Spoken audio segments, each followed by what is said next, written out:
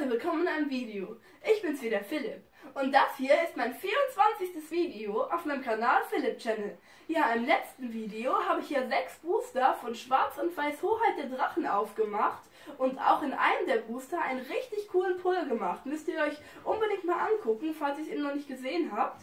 Ja, jedenfalls und heute wollte ich diese beiden coolen Tinboxen aufmachen. Und zwar sind das schon ein paar etwas ältere Tinboxen aus den ersten XY-Serien. Und deswegen finde ich das besonders cool, dass ich die jetzt endlich mal aufmachen kann. Also, dann würde ich sagen, legen wir mal los. Also Leute, da wären wir. Also, wir haben hier die Bisaflor Tinbox und die Bregeron Tinbox. Und ich würde sagen, wir fangen am besten gleich mal an, die aufzumachen. Ich habe aber auch noch zwei Briefe vorzustellen und ich würde aber sagen, die mache ich dann am Ende. Ja, also fangen wir mal an. Zuerst mal die Bregeron Tinbox. Also Leute, ich habe ja eigentlich abstimmen lassen, welche Tinbox ich da aufmachen sollte. Aber ich habe eben keine Stimmen dabei gekriegt und deswegen habe ich gedacht, mache ich am besten einfach beide auf weil ich glaube auch, dass in diesen älteren Pinboxen die Chance auf eine gute Karte, also eben X oder so, dass die Chance eben nicht sehr hoch ist. Und deswegen ist es doch etwas sicherer, wenn ich jetzt beide Boxen aufmache.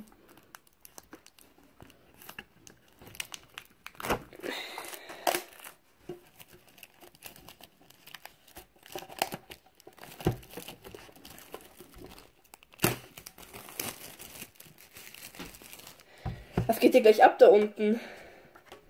Machen wir mal wieder dran.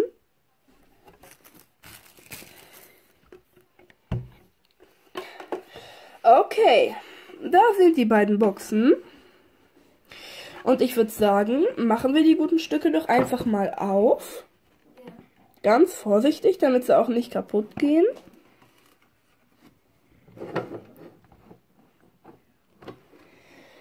Ja gut.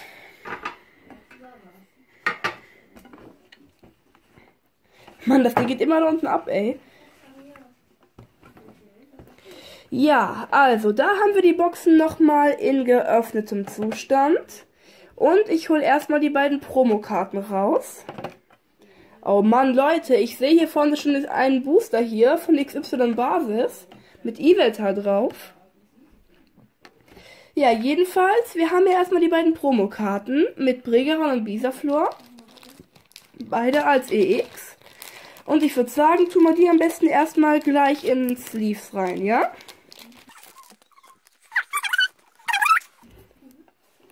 Seht ihr?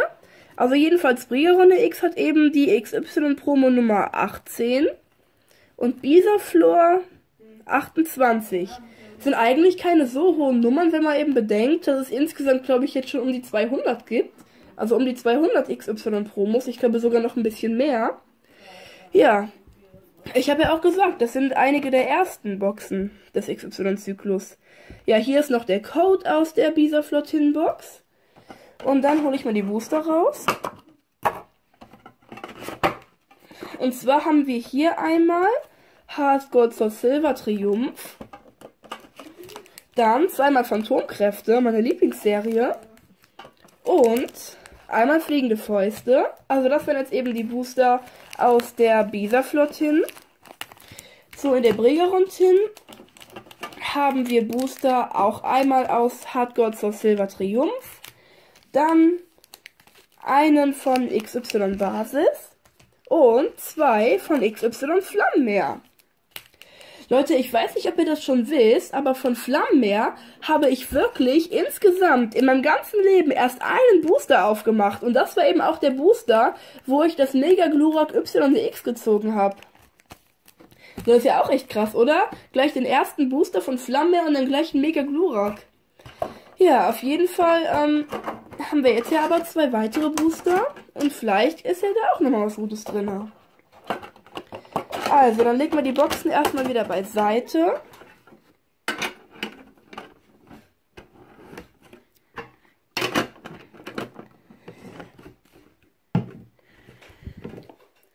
Mann, das Ding nervt aber auch, oder?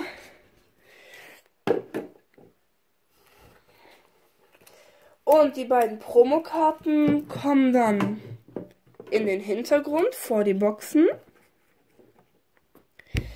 Ja, genauso wie dieser Code. Und die Booster machen wir jetzt einfach mal auf. Ich würde sagen, wir machen einfach eine beliebige Reihenfolge. Ich mische die ein bisschen, die Booster. Und dann können wir ja mal gucken, was mal in welcher Reihenfolge wir jetzt aufmachen. Ja, dann würde ich sagen, fangen wir von unten an. Und zwar mit einem Flammenmeer-Booster. So.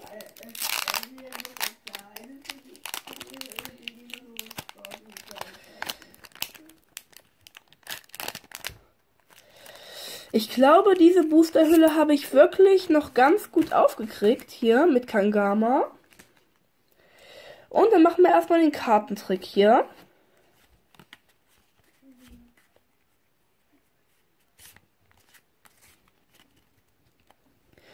Ja, los geht's. Wir haben hier ein Algit, ein Ponita, ein Haspiror, ein Psiau, ein Parfi, eine Trickschaufel, ein Galopper, dann ein Käufwaff, ein Samurzo Reverse und ein Smetbo. Okay. So, dann mach mal weiter mit einem Hardcore zur Silver Triumph. Oder am besten gleich, gleich beide. Weil Hardcore zur Silver Triumph, die sammle ich ja eigentlich gar nicht. Und deswegen stehen eben auch alle Karten, die ich jetzt aus diesen beiden Boostern ziehe, zum Tausch.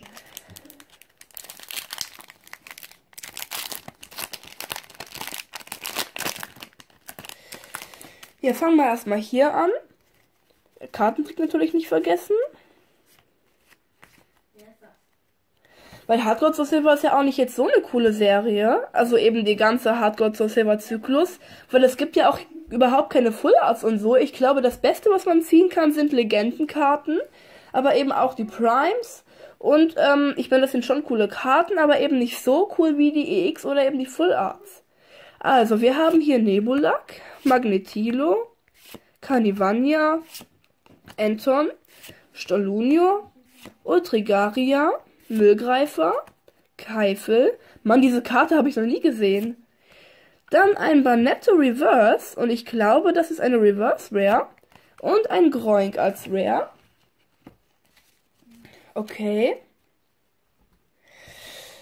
Kommen wir nun zum zweiten Hardcore für Silver Triumph Booster.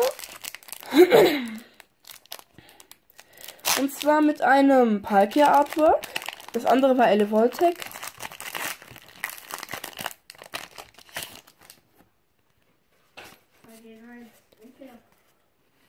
Äh, Leute, warum ist diese Karte am Rand dunkler als die anderen? Ist das ein Zeichen auf eine gute Karte?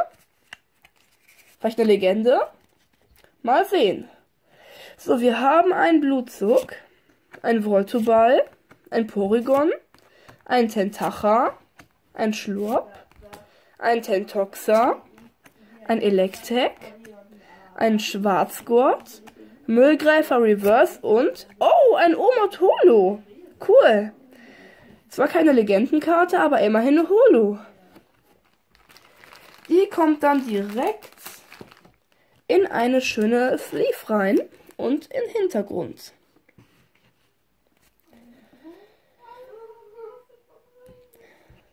Ja, okay, schon mal der erste Holopull. Okay, Leute, machen wir weiter mit dem XY Basisbooster hier.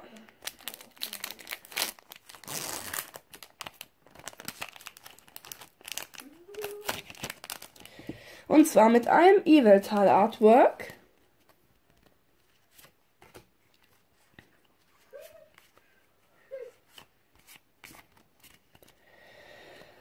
Mal gucken, was uns hier so erwartet. Also, wir haben ein Froxy, ein Yorklev, ein Ladybar, ein Parfi, ein Schwalbini, ein Elektroball, Roller Skates, ein Rockheimern, ein Tauros Reverse und ich sehe gerade, das ist eine Reverse Rare und ein Calamanero als Rare. Okay. Also wir haben jetzt, glaube ich, schon die Hälfte der Booster aufgemacht. War noch keine EX dabei. Aber gut, ich habe ja auch erst zwei Booster aus den XY-Serien aufgemacht. Das andere war ja Triumph. Und deswegen könnte uns hier noch was erwarten. Wir haben jetzt Phantomkräfte mit Mega Gengar Artwork. Und mal sehen, was uns hier so erwartet. Also am coolsten wäre natürlich das silberne Dialga EX Secret Rare hier in Phantomkräfte. Aber vielleicht wäre das für das Video auch nicht so gut, wenn ich den da gerade ziehen würde. Weil ich glaube, da hätte ich keine Stimme mehr und ihr keine Ohren, wenn ihr wisst, was ich meine. Und, ähm, ja, aber wir gucken trotzdem mal, was ich hier ziehen werde. So, wir haben Skoppel, Panzer Aeron, Mambolida, Dedenne, Lichtel, Kingler, Sedimantur. Oh, Dimensionstal. Also diese Trainerkarte fand ich eigentlich schon immer cool. Flumme Reverse und Kravums. Okay. Das nächste ist auch gleich Phantomkräfte wieder.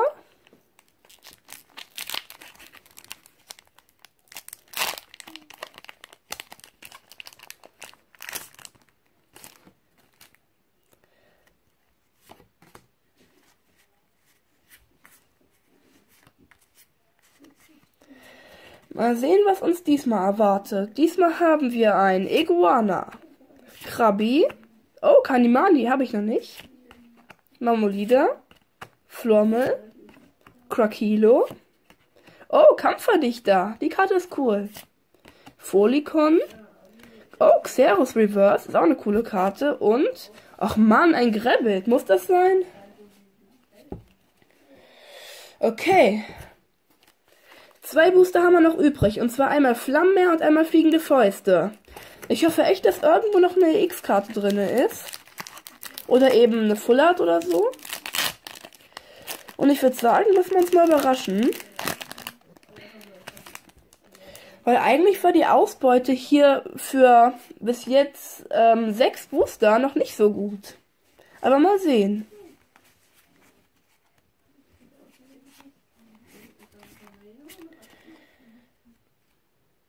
Oh, Leute. Seht ihr das? Das muss eine X sein. Also, wir haben Knilz, Pipi, Knackleon, Pionsquara, Schnuthelm, Fokusgurt, Amarino, Wartung, Ultrigaria Reverse und... Oh, Mega Scarabornix! Hilfe! Das ist ja mal eine coole Karte. Mann, Leute, guckt euch die mal an. 220 KP mit der Attacke Urknallhorn. Boah, und wie das hier rein smasht hier, das Scaraborn. Hilfe, das ist ja richtig cool. Also, auf jeden Fall die, die beste Karte bisher. Gleichen Hintergrund. Und vielleicht haben wir ja in dem Flammenmeer Booster auch nochmal einen schönen Pull drin. Mal sehen.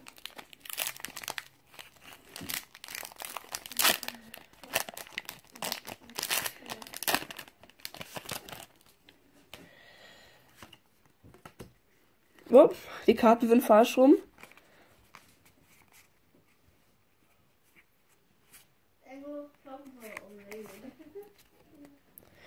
Okay, wir haben Visor, Seemops, Zurokeks, Leufeo, oh, Viscora. Dann Liebeskuss, Hyperball, Georock, Haspiror Reverse und ein Schlappohr. Okay. Ja, gucken wir uns unsere Ausbeute mal an. Also unsere besten Karten waren auf jeden Fall Mega Scaraborni X und Omotolo. Also ich würde sagen, das ist jetzt für zwei Tinboxen eher so mittelmäßig, aber da diese Tinboxen ja etwas älter sind und da die Ausbeute ja generell ähm, relativ niedrig war, ist das eigentlich gar nicht mal so schlecht. Ja, jedenfalls das Mega Scaraborne X war auf jeden Fall hier aus dieser Tinbox hier, aus der Bisaflor Tinbox. Ähm, und bei dem Obertolo weiß ich es jetzt gar nicht mehr genau. Ja, auf jeden Fall war es das dann. Im nächsten Video werde ich eben die Mimikma Pin Kollektion aufmachen. Und, ähm, ja.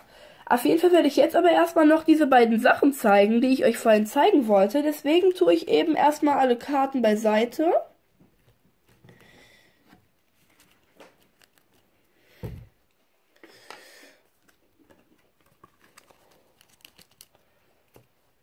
Und an die Seite. Ja, Leute, das wollte ich euch eben noch zeigen. Und zwar fangen wir erstmal hiermit an. Und zwar ist das nämlich ein Tauschbrief von Sarah. Ist eigentlich ein ziemlich neuer Tausch sogar. Ich glaube, das habe ich erst gestern erhalten oder so.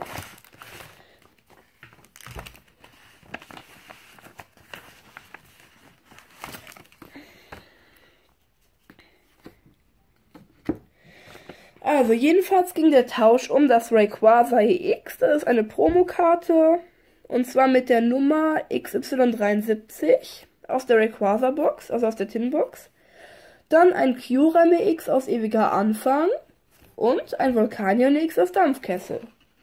Ja, das waren die drei Tauschkarten. Auch in ziemlich coolen Sleeves hier. Komplett blau hinten. Ja. Und dann zeige ich euch noch eben den Bonus.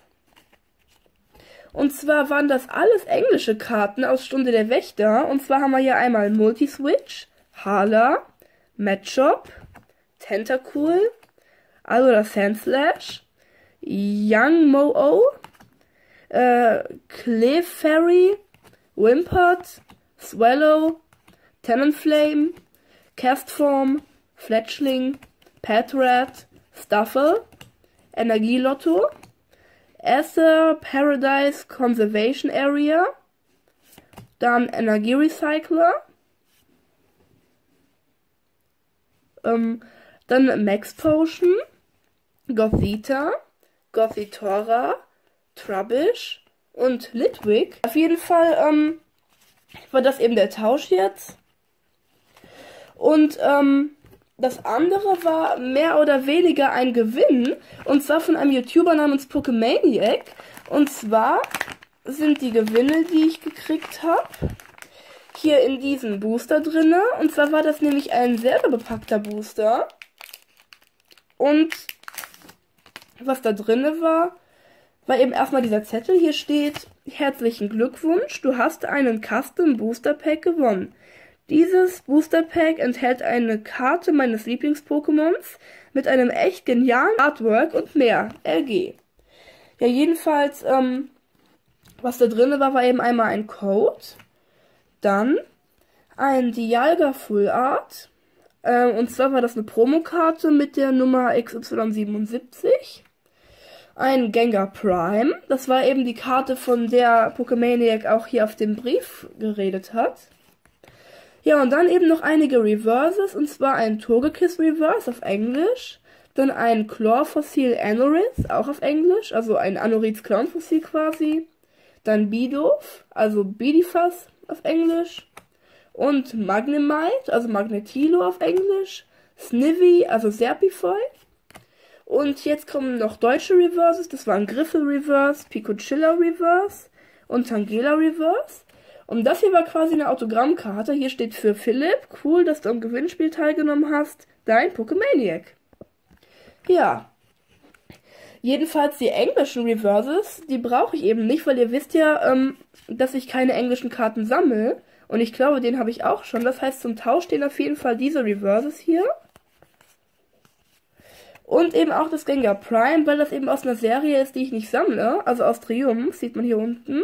Und die Serie sammle ich ja nicht. Aber ähm, diese Karte steht nicht zum Tausch, weil ich die noch brauche. Und ähm, diese beiden auch nicht. Ja, auf jeden Fall war es das jetzt erstmal. Wie gesagt, im nächsten Video kommt dann die Mimic Papin Kollektion dran. Also, ja, bis zum nächsten Mal. Tschüss.